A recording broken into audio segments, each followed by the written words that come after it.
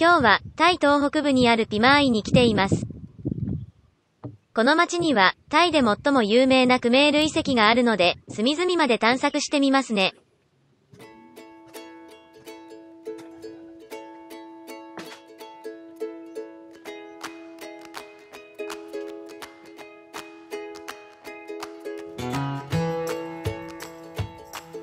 ピマーイの町は、イサーン地方をメコン川まで流れるムーン川沿いに、歴史公園を中心に広がっています。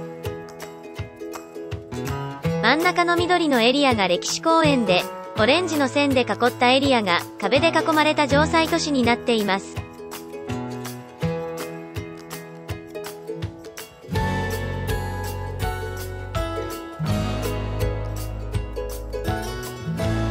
アンコール王朝の都から北西に位置し、副都として機能したと考えられるほどの規模を持っています。また、王の道と呼ばれる道で結ばれ、宿役や療養院が王国中に整備されました。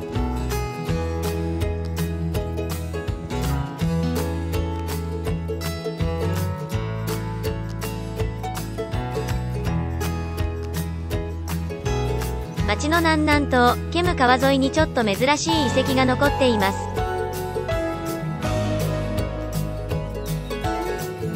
さ1メートルほどのラテライトの基壇に見えますが、先端は十字になっています。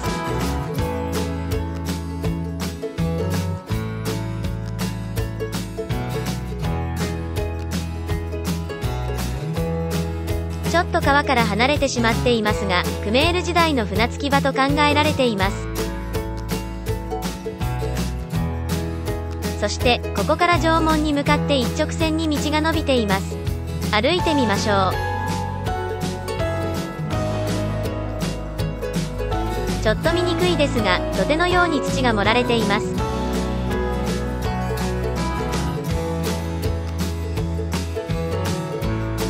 現在の舗装された道は左側からカーブしながら近づいていますが、この道はまっすぐ縄文に伸びています。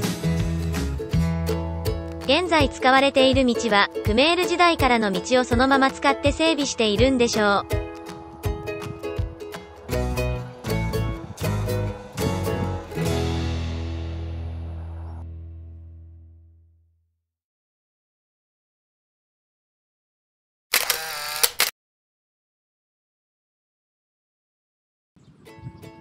すぐ横には巨大な薩長名王が広がっています。いわゆるバライと呼ばれる大きな人工池です。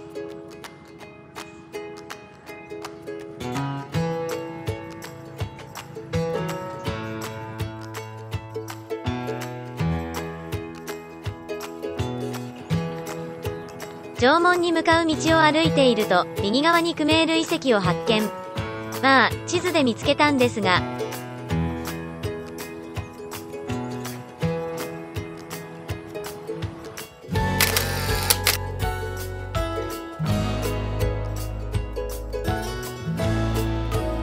ルーシーと呼ばれるこの遺跡は、クメール王朝最盛期の王であったジャヤ・バルマン7世が王国中に建設した療養院の一つと考えられています。バンコク国立博物館にあった図で説明しますね。アーロギャーシャーラと呼ばれる102件の療養院は、どこも同じような建造物になっています。東門を入ると正面に指導があり、左側に胸像と考えられる建物、そして、これらを比較的低い壁で囲んでいます。すぐ近くには、お決まりの払いがありますが、位置はバラバラな感じです。これまでに、タイとラオスで4カ所の療養院遺跡を訪れましたが、どんなに朽ち果てていても、はいはい、療養院ですねとわかります。プラチンブリにある、サ・モラコット遺跡には、丁寧に模型があったので、参考までに、バライから左に向くと、東門があります。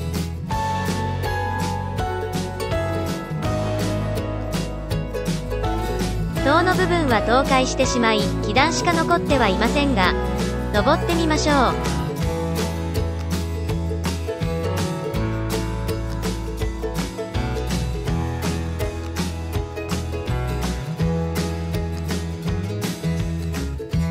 門の向こう側に指導が見えますね。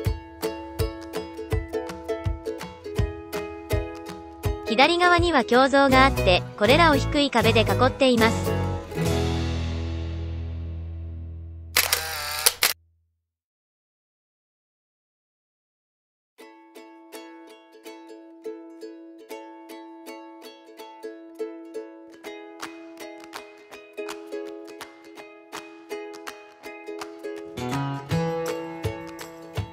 ようやく、城西都市ピマーイの入り口にあたる勝利の門、プラトゥーチャイに到着しました。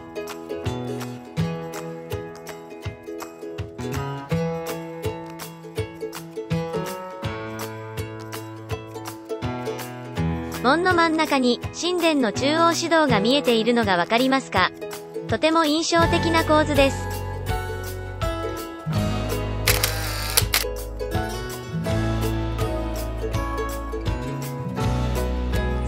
クメール王朝の服とヒマーイに入っていきましょう。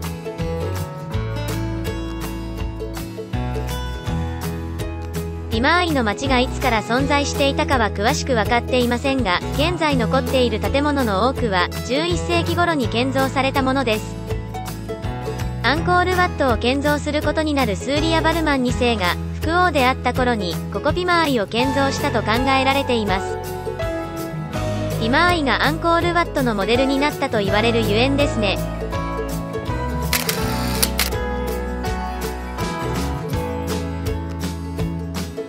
ヒマーイの街のあちこちから中央市道を見ることができます。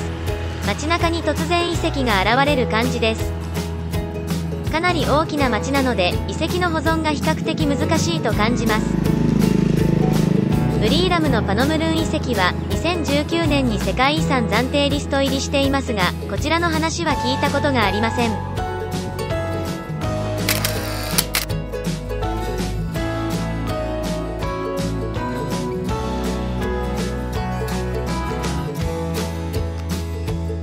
ヒマーイの町を囲んでいた西側の城壁です。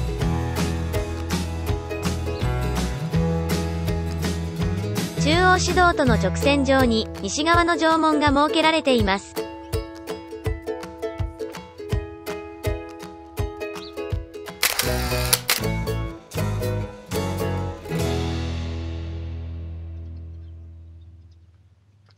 振り向くと、住宅の向こうに中央市道が見えますね。西側と北側には水堀もよく残っています。歴史公園を見学して帰るだけではわからない城西都市としてのピマーイの姿です。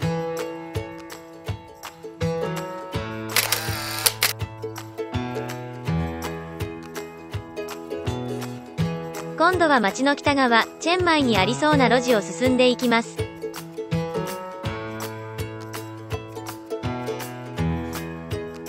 北側の城門です。ここは大きな水堀に面しています。いや、川かもしれません。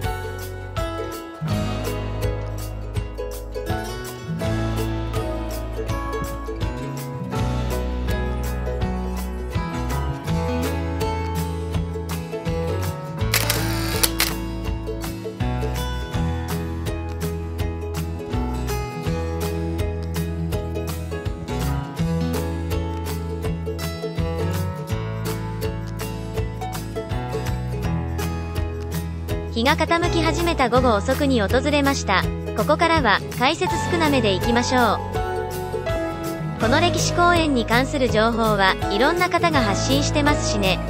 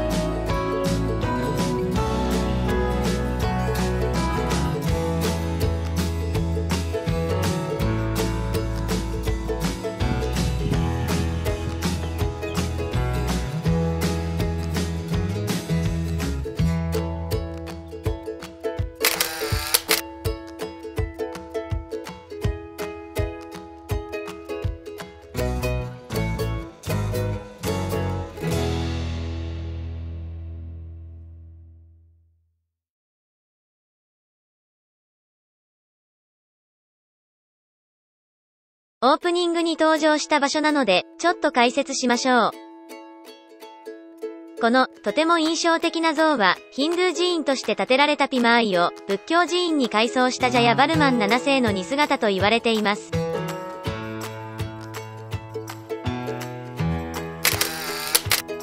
本物は、ピマーイ国立博物館に収蔵されているのですが、2023年9月現在、絶賛改装休業中です。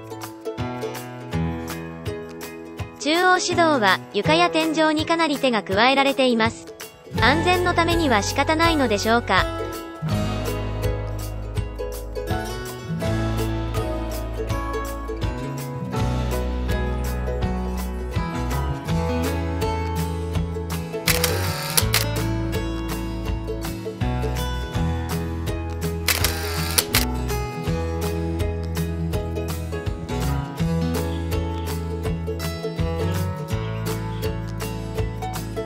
これは遺跡公園を囲む壁です。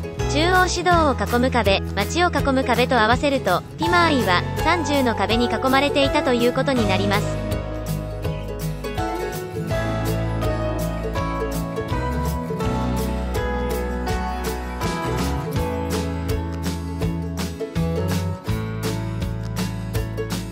ピマーイの町では毎晩のようにナイトマーケットが開かれています。歴史公園から徒歩3分ぐらいの場所なのでこの街に宿泊していくのもおすすめです。僕の場合は涼しくて人の少ない早朝に歩くのが好きなのでどうしてもその街に泊まっていくことになります。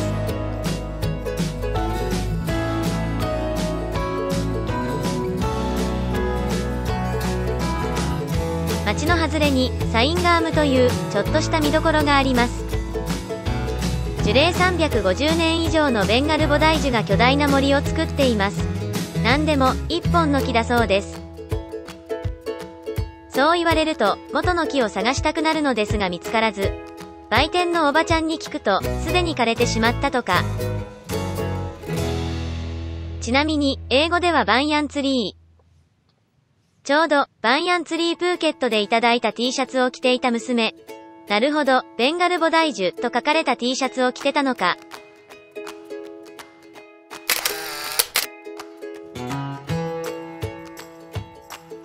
今回、タイを代表するクメール遺跡であるピマーイを歩いてみましたが、いかがだったでしょうか？撮影したカメラのレンズが汚れていたのか、白っぽい映像になってしまっており、残念だし、見てくださった方にも申し訳なく思います。また、チャンスがあれば出かければいいのですが、今回のように場外まで歩き回るのは厳しいかなと思います。それぐらい本気で歩き回ったピマーリ旅行、楽しかったです。